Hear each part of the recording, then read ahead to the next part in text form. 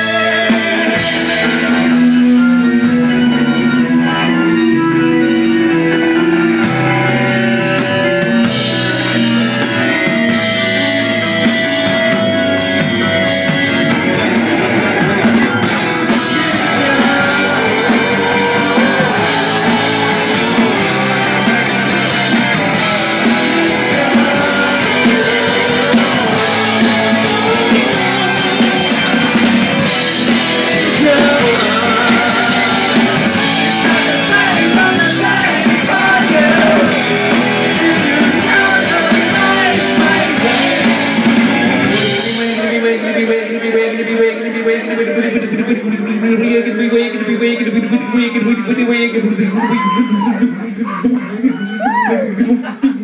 gonna be ginger, right?